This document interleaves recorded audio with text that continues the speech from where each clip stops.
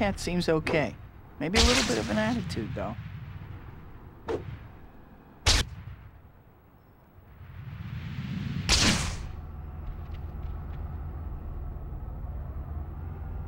Peter, I guess you're running late. Or else you thought we were meeting at the movies. Anyway, the movie's starting soon, and I don't want to be late, so I headed over there. Meet me there, if you aren't already there. Ugh.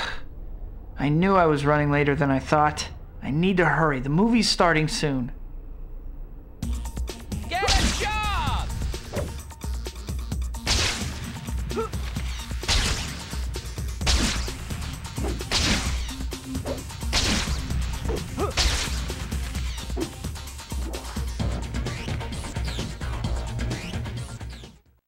Better change while no one is around.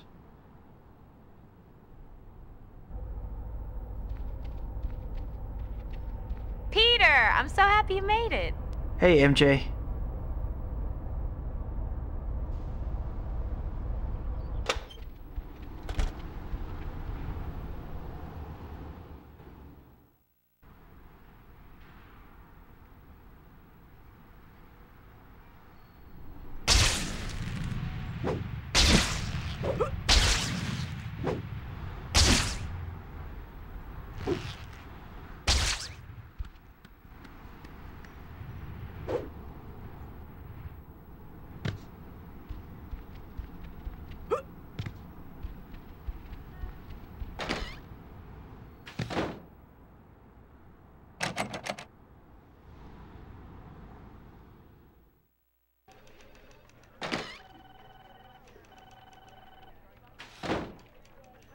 Hey, Betty. Is Mr. Jameson around? Pete, he just went in his office and he was fuming that you weren't here. Better go see him. He was looking for me? Huh. Hi, Mr. Jameson. I was. What are you doing here? Get down to the sports arena now! Huh? Quentin Beck has publicly challenged Spider-Man to go and prove he's for real. He's broadcasting on TV right now. I want pictures. At the sports arena. Okay.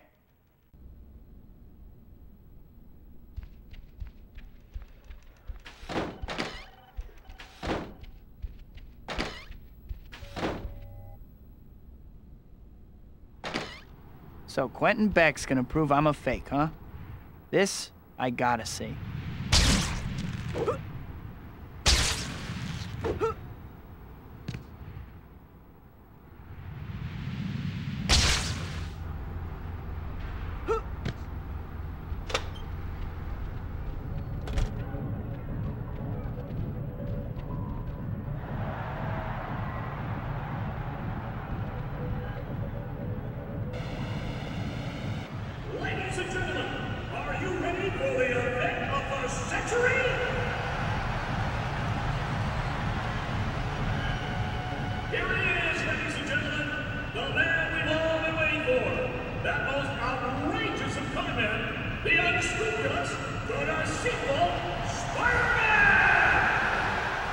For those of you just joining us, Hollywood effects expert and Spider-Man critic Quentin Beck has issued a public challenge to the web slinger. Bob, what do you think? Well, Steve, it's a bold move, no doubt about it. Personally, my money's on Spider-Man. All right, we'll have to see how it plays out. Here comes Quentin Beck now. And now, your MC and host for this evening. You know his legendary work from such films as Cyborg Babysitter and Tears of an Alien Bounty Hunter. A man who has worked tirelessly for the entertainment of all mankind. Ladies and gentlemen, it gives me great pleasure to introduce that master of film magic and illusion, that expert of the unknown, the one, the only, Quentin Beck! Thank you for coming, Spider-Man. I knew you couldn't resist. I don't like people building a career off bad-mouthing me, Beck. What about that newspaper man, Jameson? JJ? He just has a knack for hiring good photographers. Well, Spider-Man, now that you're here, let's get right to it. Your first challenge will be something you're supposedly quite good at. Rounding up criminals. That's it. All right, whatever. Oh, there's more to it than that. After you collect each criminal, deposit him in one of the three holding pits here. And by the way, you'll only get a point if you use the pit with the green light. I'll be competing against you, and there will be three waves of criminals. If I, with no so-called superpowers, collect more criminals than you in the allotted time, then the world will be able to see clearly what a sham you are. I don't know what happened to make you so delusional, Beck, but bring it on. Well, it looks like they're getting ready to start. According to the press release, the city's Department of Corrections provided the criminals Beck and Spidey will be collecting. Right, Steve. And virtually every one of these convicted criminals is someone Spider-Man helped capture, including one celebrity criminal, Herman Schultz, aka the Shocker. Well, it should be interesting to see how that affects the results. Oh, and it looks like they're starting. Ready, Spider-Man? Let's begin.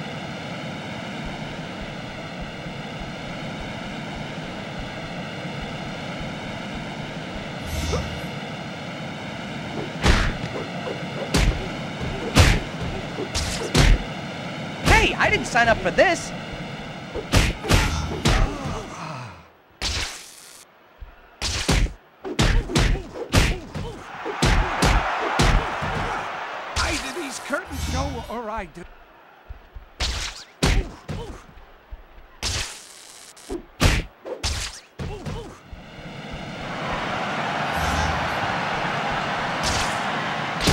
You like my gadgets, Spider-Man? I perfected the technology on the movie Sorority Death Robot. I don't know about your effects, but your education must have been special. Why, Beck? I trusted you.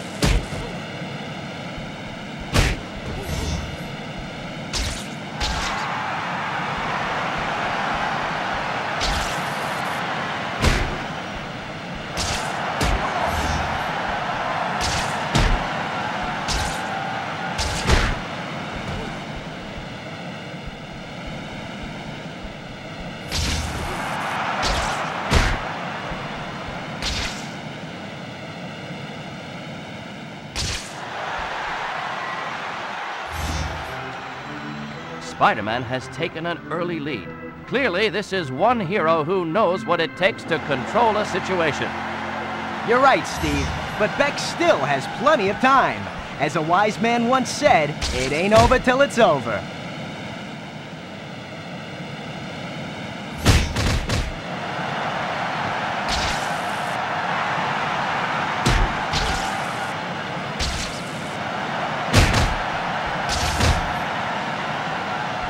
I'm better than you, Spider-Man, and today I'm going to prove it.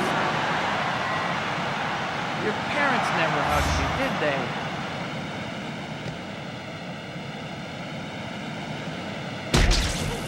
Let go of me, freak!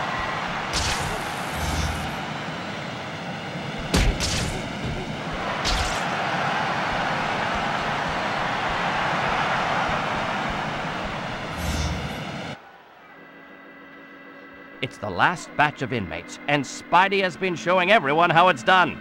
Beck is going to have to do some fancy flying if he's going to make a comeback now.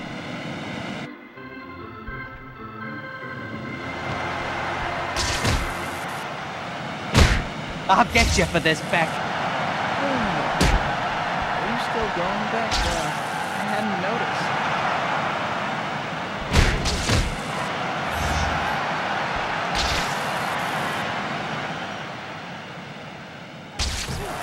What is your problem? I mastered this trick on the set of Ninjas of Madness 4, Flaming Ninja. You know, if the cool kids beat you up in school, you're really taking it out on the wrong guy. One of these days, Webhead, I'm gonna get you.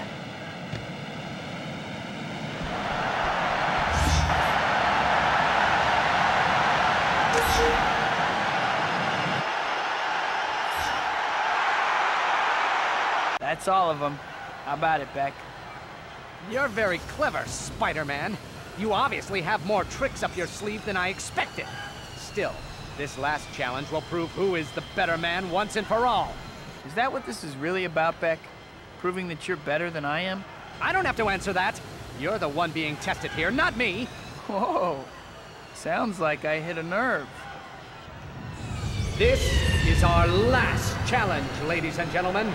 You've seen how cleverly Spider-Man can maintain his illusion of heroism, but now all his supposed skills and abilities will be put to the ultimate test in a one-on-one challenge against me. Here are the rules, Spider-Man. I have built an obstacle course. You will start here. All you have to do is reach the end of the course, hitting these switches along the way. I, meanwhile, will be manning an electric cannon. If I see you, you can be sure I'm gonna hit you with the cannon. Don't worry, the cannon is non-lethal.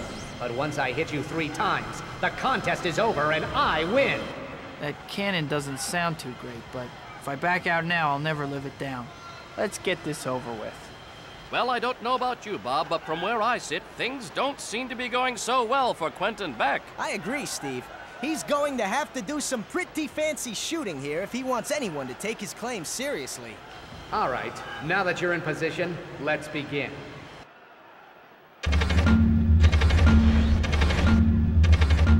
Why don't you just give up, Spider-Man?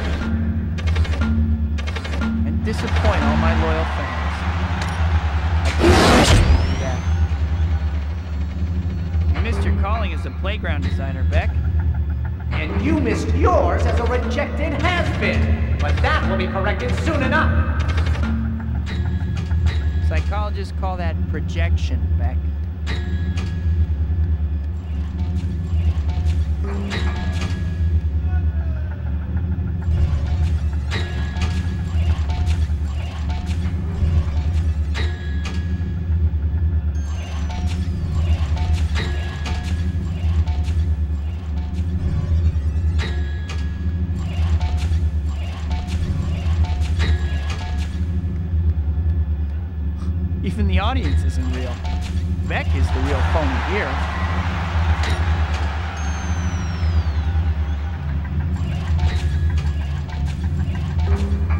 You're lucky I'm such a good sport, Beck. No intelligent person would put up with these tests. Did you hear that, folks? Spider-Man admits that he's stupid. You heard him. Oh, please.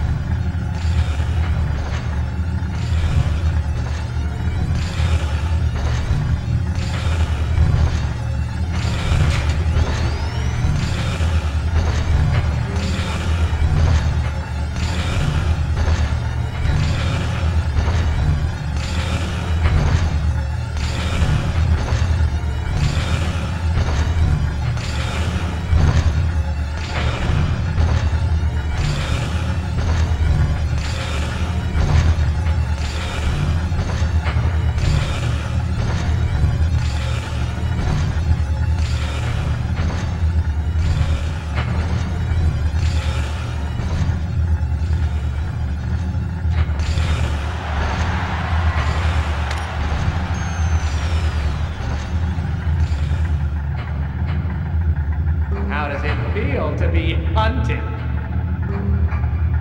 Uh, nothing like this, for starters.